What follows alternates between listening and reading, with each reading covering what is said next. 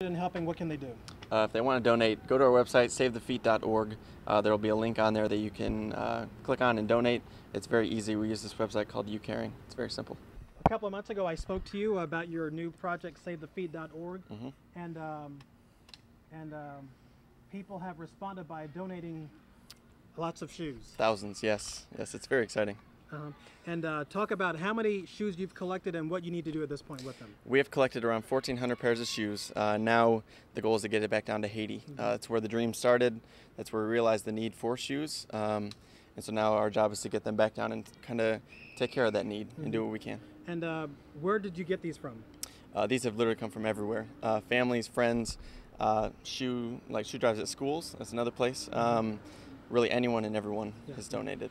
And talk about the the now the issue of getting them there. How much is that going to cost you to do? Uh, the issue now is getting them to Haiti. Uh, it's going to cost around four to five thousand dollars, um, and it needs to be shipped relatively soon because we're trying to get back in September.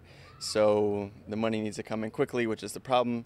As an average college student, it's a little little, little difficult to come up with four thousand dollars like that. Um, Yeah. Uh, uh, what has been your reaction to the people willing to, at minimum, give you the shoes? What's been your reaction to that It's outpouring? I've been super appreciative of it. Uh, it means the world to me when people donate even one pair of shoe, uh, pair of shoes. Um, you know, it's not that easy to get rid of shoes because we're very attached to our things. But the people that are able to do it, I really appreciate them. And just looking at the ones that I can see, these are not necessarily worn out shoes. Some of these look in pretty good condition. Some of them are brand new, uh, and those are personally my favorite. Uh, but the used ones are also like they will do the job. They will cover their feet and protect them from diseases down there.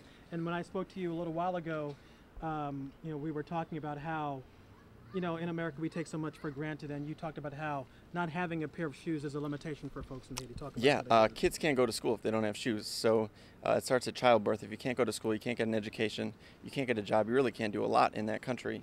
Um, you can't. I mean, even in America, you can't go get something to eat. You can't go to an internship. You can't do anything. Uh, so shoes are absolutely crucial to life, uh, especially down there. Uh, if they want to donate, go to our website, savethefeet.org. Uh, there will be a link on there that you can uh, click on and donate. It's very easy. We use this website called YouCaring. It's very simple.